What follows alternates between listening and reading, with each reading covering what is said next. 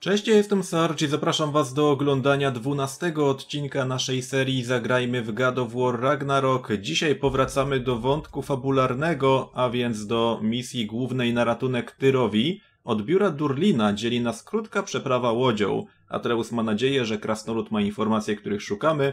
Moglibyśmy się przygotować i poszukać surowców w zatoce. To już oczywiście za nami. Udało się tutaj wszystko dokładnie wyeksplorować, a wszelkie lokacje jeszcze nieukończone w pełni dopiero będą do ukończenia, bo tam są jeszcze zablokowane ścieżki, więc teraz ruszamy prosto do Durlina. No a przynajmniej miejmy nadzieję, że tam go faktycznie spotkamy. Jeszcze raz skorzystać z łodzi i zobaczymy w jakim kierunku ta historia pójdzie dalej, czy Durlin faktycznie będzie miał dla nas jakieś informacje na temat Tyra. No miejmy nadzieję, że tak, bo moglibyśmy tak kurczę w nieskończoność błądzić w poszukiwaniu kolejnych szczegółów. Najpierw najważniejsze, żeby faktycznie Durlin był na miejscu. Teraz do Durlina? Mam nadzieję, że będzie zadowolony. No ja też mam nadzieję i mam nadzieję, że będzie skłonny do współpracy. Czyli tutaj przystaniemy. A z ciekawości, czy jeszcze jakieś elementy rzemieślnicze zbierzemy z tej okolicy? Chyba tak. A, tutaj też obok było, kurcze. Wydawało mi się, że tu na końcu coś się świeciło, ale jednak nie. Tu można też w ogóle przystanąć. Chyba tylko po tę skrzynię, wydaje mi się. Dlatego od razu ją otwórzmy. Będziemy mieli z głowy. Kute żelazo. No, poza tym tutaj raczej niczego nie mamy. Plaża Nidaveliru. Czyli cały czas jako ta duża lokacja, którą gdzieś tam już zwiedzaliśmy. Ale to koniecznie musimy kurczę zdobyć, bo to będzie oczywiście stały progres, jeśli chodzi o jakąś statystykę. Trochę taka premia pasywna. Tym razem siła na stałe zwiększona o dwa punkty, a więc bardzo się cieszę. No i tutaj jeszcze chyba możemy liczyć na jakieś kute żelazo.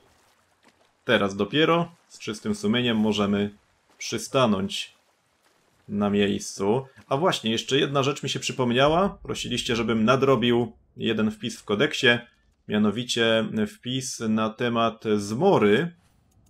Gdzie to było? Tutaj. Zmory. O, co za poczwary. Wpis zakończony. Okej. Okay. Niezbyt wyczerpujący, ale nadrobione zostało. To ma być biuro bezpieczeństwa? Już sam szyld stanowi niebezpieczeństwo, ale wiecie, najciemniej pod pochodnią. Tak mówisz.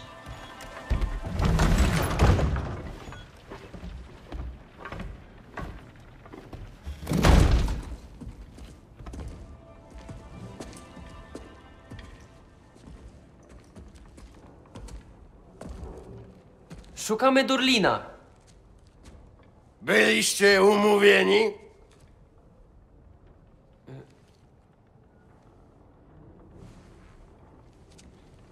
E, nie, ale nie widzę tu kolejki chętnych.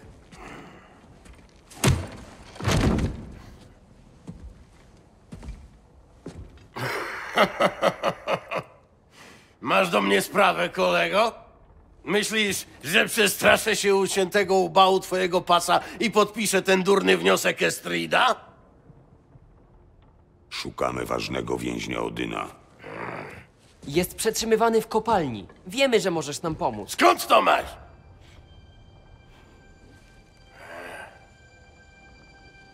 Jej też obciąłeś głowę, tak?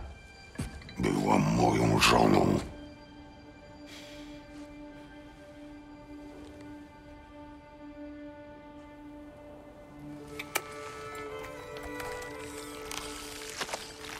I ja byliśmy ciekawi, dokąd się udała po fiasku rebelii. Fiasku? No, patrz, patrz. Fiasku. Fej nie żyje.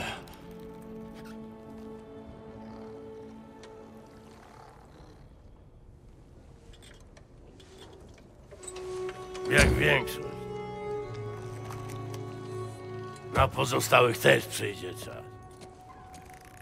Niestety, nie mogę wam pomóc w sprawie tego więźnia. Ale on wie, jak powstrzymać Odyna i wyzwolić Svartalfheim.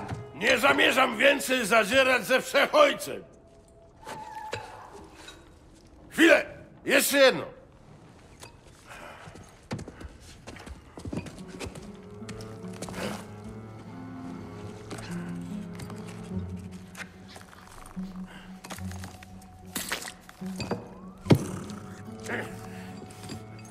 Trzymaj to. Co to? Mandat. Za przełożenie gnijącej głowy w sposób niehigieniczny, za dwukrotne wypowiedzenie imienia Wszechojca i... No. Za upierdolenie mi biurka! Mandat?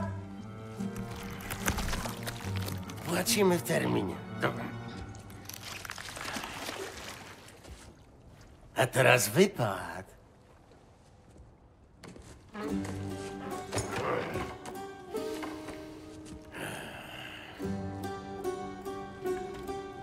No cześć. Której części zwrotu a teraz wypad nie rozumiecie? Mówiłeś, że nazywa się deser? O, e, jasne. Dziękuję. Chyba. Mam nadzieję, że z tym mandatem to jednak sobie żarty robiłeś. I naprawdę wychodzimy. Lepiej, żeby ten ucięty łeb nie zapaskudził mi podłogi. Wypraszam sobie. O, patrzcie go, gada! Deser, widziałaś coś takiego? I wygląda jakoś znajomo. Po prostu mam pospolitą twarz. Ciesz się, że w ogóle coś jeszcze masz. Chodźmy stąd. Dobrze, że Mimir się w końcu odezwał, bo właśnie zastanawiałem się, że tak siedzi cichutko.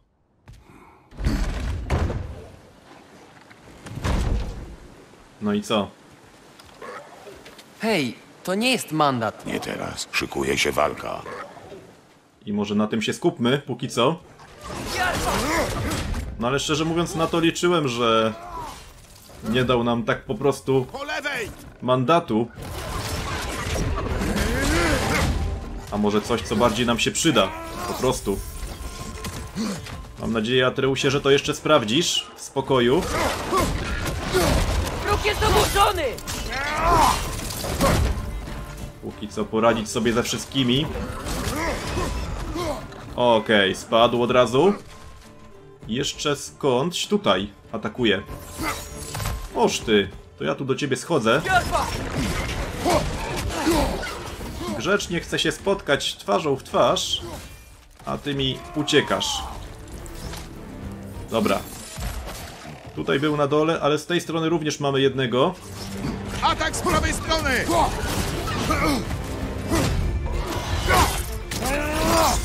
Okej.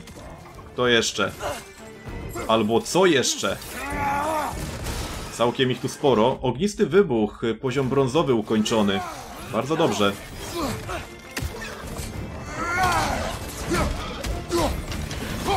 Tutaj załatwiony. Teraz uwaga tam na górze, bo też próbował.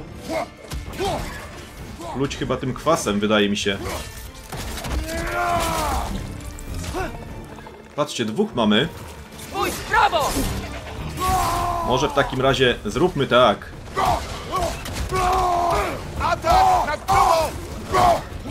Wejdziemy do nich szybko.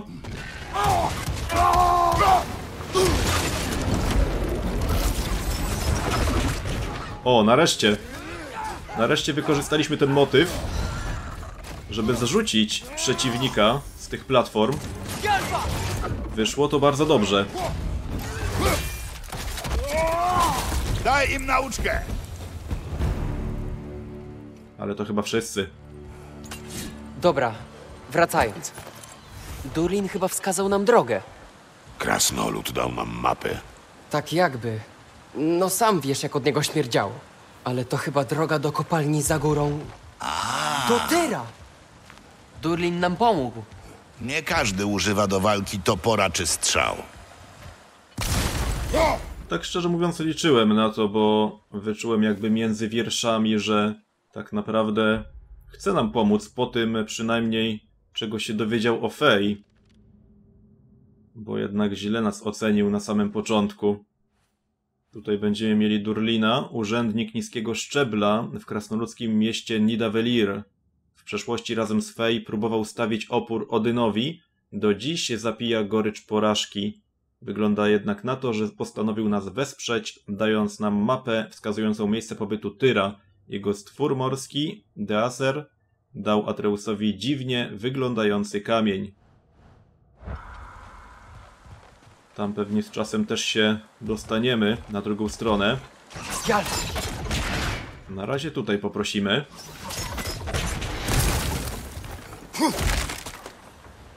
To też lepiej zniszczyć, chociaż kurczę, poza walką to nie daje żadnych dodatków nam. Aczkolwiek wiecie, zawsze się może zdarzyć, że jednak będzie jakiś wyjątek i zniszczenie takiej platformy nagle spowoduje, że coś się nam ukaże. No, chociażby i dodatkowa skrzynka zawsze w cenie. Dobra, tutaj byśmy wrócili do Durlina, więc tego nie chcemy. Warto się dokładnie po tej arenie walki rozejrzeć. Bo w całym tym przebiegu potyczki można było coś pominąć i faktycznie jest jeszcze jedna czerwona skrzynia. Zabierzmy, tutaj powinno być kute żelazo. Surowa skóra tym razem. Też jeden z tych elementów rzemieślniczych zdobywanych dość często na tym etapie. Nie, nie chciałem do góry, tylko zabrać troszkę tych kryształków czerwonych. A właściwie już tych zielonych niepotrzebnie zbieram więcej. O, ale tu jeszcze coś zostawiłem, chociaż mówię, gdybyśmy nawet to zostawili, są to te strzępy bestii, no to później i tak e, blisko Sindriego możemy uzupełnić to, co gdzieś tam właśnie zostawiliśmy. Teraz ruszajmy.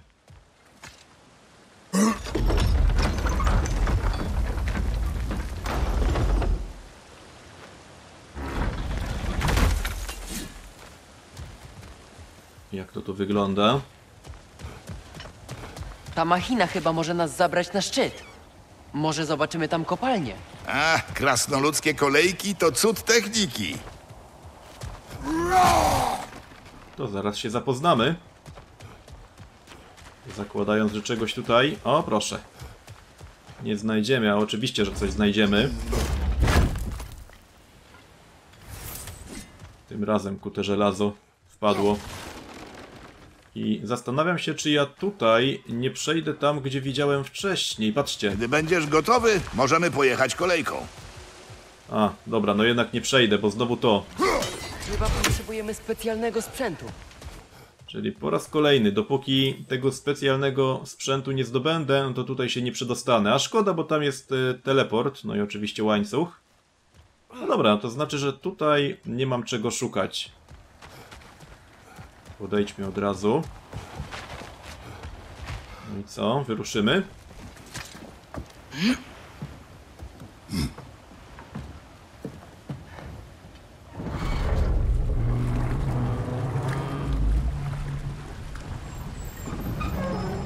To tak z automatu wystartowało? Nie widziałem, żebyśmy to uruchamiali. Heimdall. Imię, którego nie chciałem usłyszeć. Nikt cię nie prosił, żebyś je wypowiadał. Turlin. Nie musiał go wypowiadać, miał je wypisane na twarzy. Czy raczej wypalone na głowie. Wypalił Durlinowi ranę na głowie? Nieudane rebelie często owocują trwałymi konsekwencjami.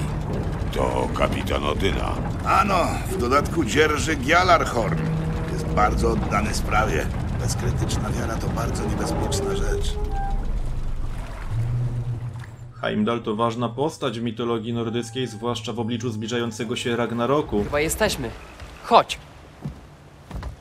Tędy. Widzę następną kolejkę. Spróbujmy się do niej dostać.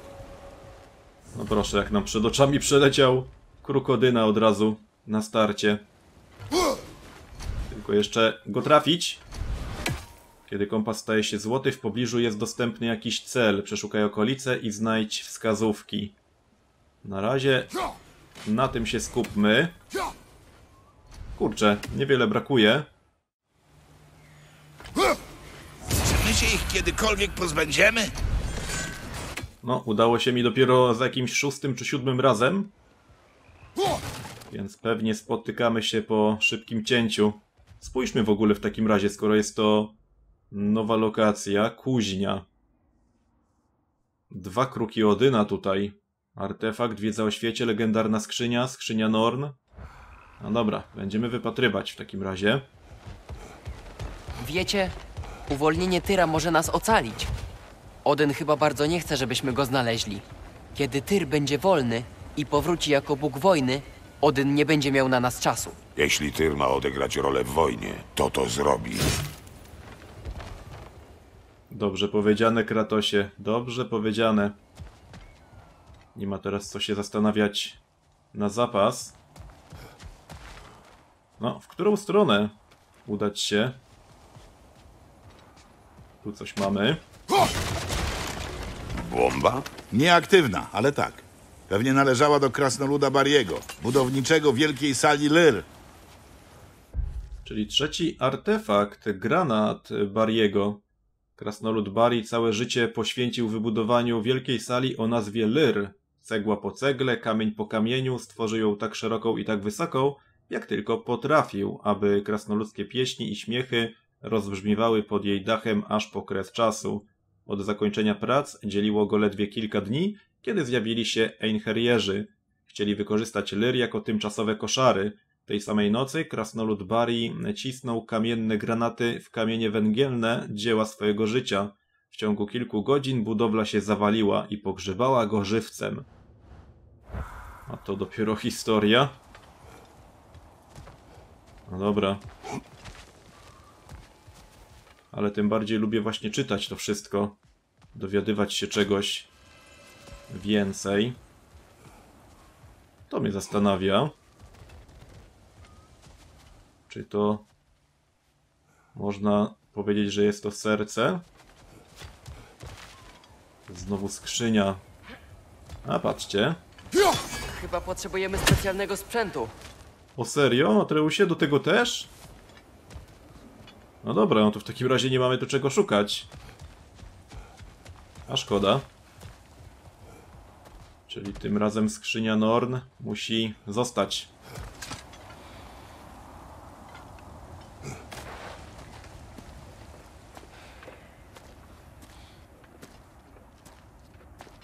Jej, to chyba Dreki.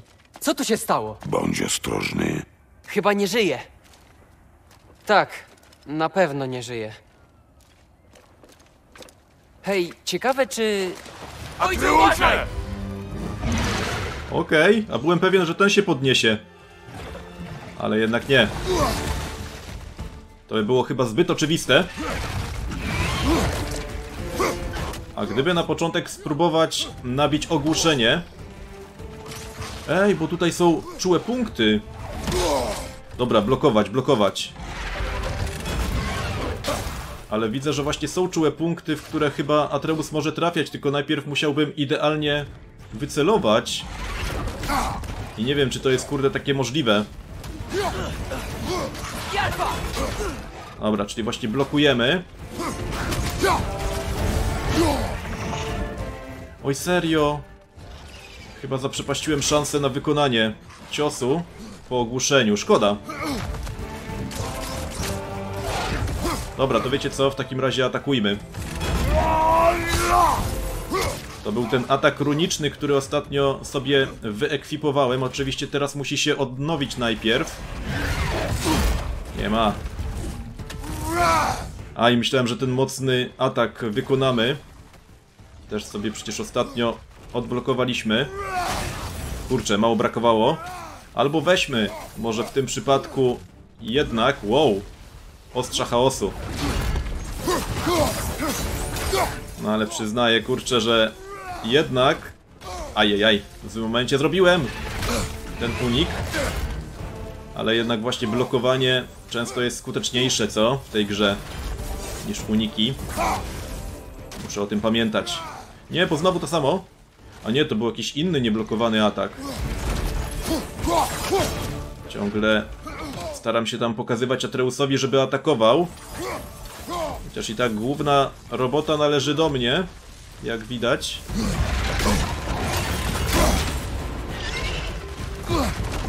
Może teraz? Dobra, zaraz go pokonamy.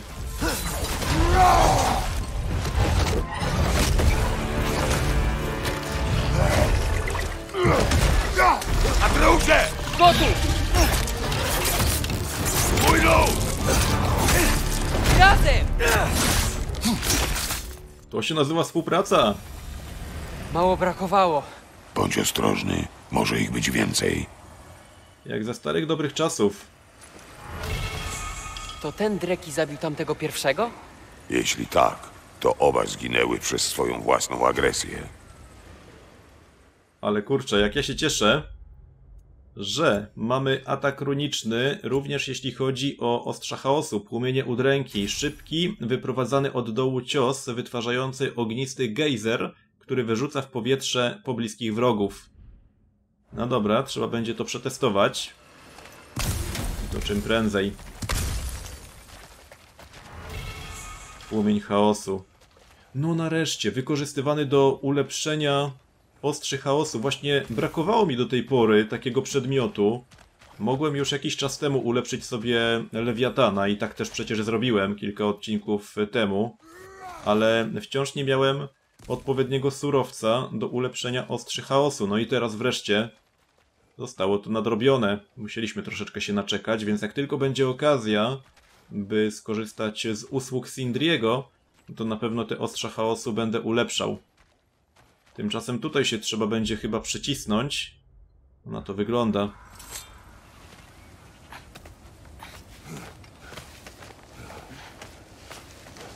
Co tym razem nas czeka? Tam, w dole! Widzę kopalnię. To o nią musiało chodzić Durlinowi. Po lewej widać tory. Może będzie jeszcze jedna kolejka. Ojcze, a co jeśli nie tylko Tyr ma odegrać rolę w wojnie Odyna? Co jeśli my też? Wojna to nie jedyne wyjście. Jesteśmy bogami. Lepszymi bogami. Chcemy powstrzymać Ragnarok. Pomóc ludziom. A co jeśli można osiągnąć to tylko wojną? Atreusie, Ależ ten Atreus ciągle tę wojnę wywołuje. No non stop o tym gada. O proszę. Tutaj mamy runy. Tędy do kuźni. Prosto i konkretnie. Tam było dużo różnych odnóg, które będę musiał sprawdzić. Tędy do kuźni. Być może to jakiś dyskretny żart albo kolejny wyraz krasnoludzkiego oburzenia wobec rządów sprawowanych przez Odyna nad Svartalfheimem. Czy postęp dokonany pod czujnym okiem ciemiężcy to nadal postęp? No cóż. Tędy nie przejdziemy na pewno. To mnie trochę martwi. Czyli tak, tutaj wrócimy. Jasna sprawa. A jakbyśmy poszli dalej, to to jest z kolei też mijane wcześniej przejście. No i tu jeszcze możemy na drugą stronę. A czekajcie, aż z ciekawości muszę sprawdzić. Nie, to nic nie da. Mi się rzuciły od razu te wiaderka w oczy.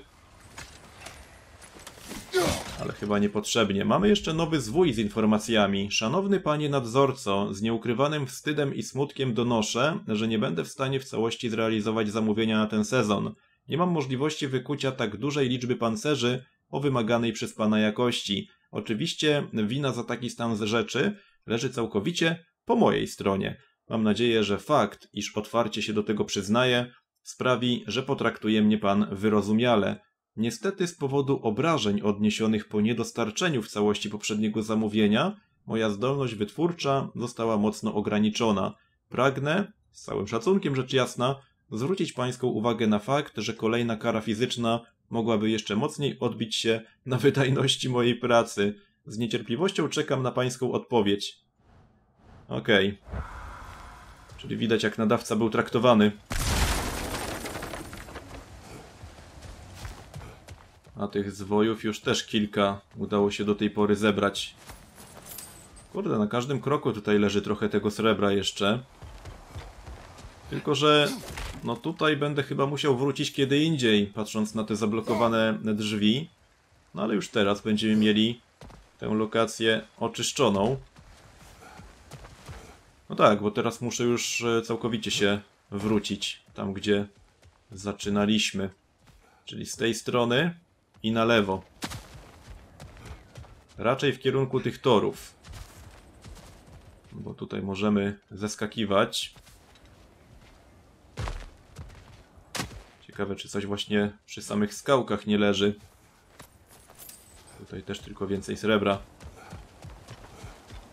No ale okej, to faktycznie dalsza droga. A to wyglądało właśnie jak wejście na górę. Tam nie doskoczę? Aż dziwne. No chyba, że z drugiej strony. Też to sprawdźmy. No, tutaj już prędzej. Tutaj zdecydowanie przeskoczymy. A więc jeszcze jakiś element rzemieślniczy nam wpadnie w ręce. Kute żelazo oczywiście. I co dalej? Teraz tylko na górę. Tak, czyli do tych torów przejdziemy.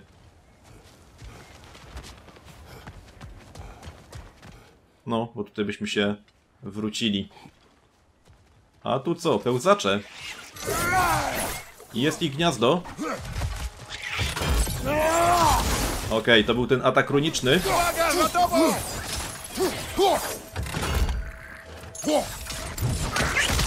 Okej, takim atakiem jeszcze ich nie pokonywałem. A warto było wypróbować. Tylko, że wiecie, szybciej jest w sumie jednak normalnie ich rozwalić. Ale ciekawa animacja. No dobra. Czyli więcej zagrożenia już nie ma. A tu kurde co? Ciekawe co załatwiło tego stwora. Napraw zepsutą kolejkę. A, to jest tutaj po drugiej stronie.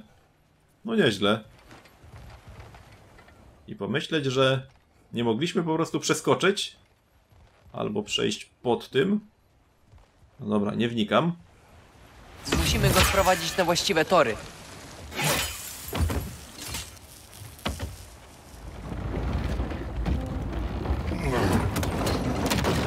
Przynajmniej będzie skrót na przyszłość.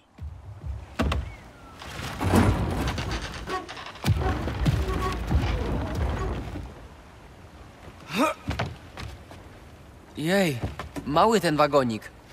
Dobra, przesuń trochę w lewo. Hmm, może to wystarczy. Nie, w moje lewo. Oj, naprawdę. Może to wystarczy. Dalej, Atreusie. już prawie. Trochę bardziej w lewo. Nie mam pytań. No, gotowe. Runda druga, zaczynamy. Aż kurde. Już myślałem, że tak w nieskończoność będzie nas instruować i nic z tego ostatecznie i tak nie wyjdzie. Dopóki sami nie uznamy jak to podnieść. Czekam na ciebie. No już idę, idę. Nie bądź taki niecierpliwy. Ten mały kraken dał ci kamień. Kraken? A, Dieser. Tak, jest cały w glonach. Myślałem, że po powrocie pokażę go Brokowi i Sindriemu. Proszę. Dobrze. Przyszliśmy odnaleźć Tyra, bo nie ufamy Odynowi, tak? Jak się nad tym zastanowić, to wojna... O, o, To już druga przejażdżka nie mogła być spokojna oczywiście. z lewej! Oż ty! Z prawej! Serio? No wypadł mi stąd. Powiedz kiedy! Leusie, rozejrzyj się za hamulcem! To pewnie jakaś dźwignia! Mam go! Ugh, hamulec się zaciął! Próbuj dalej, braciszku! Idźże mi stąd. Ojcze! Zatrzymaj wagon!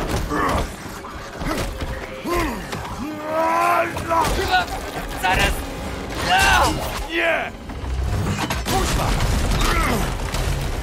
Kuźwa, kuźwa, kuźwa, kuźwa! Atreusie! Jakie słownictwo. Pierwszy raz je u ciebie słyszę. Wstawaj! Ojcze! Troll? No niewiarygodne. Oj tak.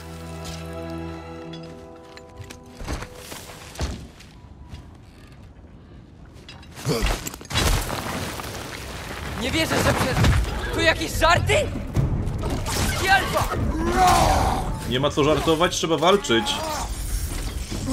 Dobra, później sobie sprawdzimy wpis na temat tego trolla. Na razie skupmy się na pokonaniu tych przeciwników tutaj. Powinno pójść z marszu całkiem sprawnie. A przynajmniej miejmy taką nadzieję. Nie wiem, czy jeszcze z tyłu jakiś nie atakował. No, daj im popalić! Niesamowitego, ale jazda!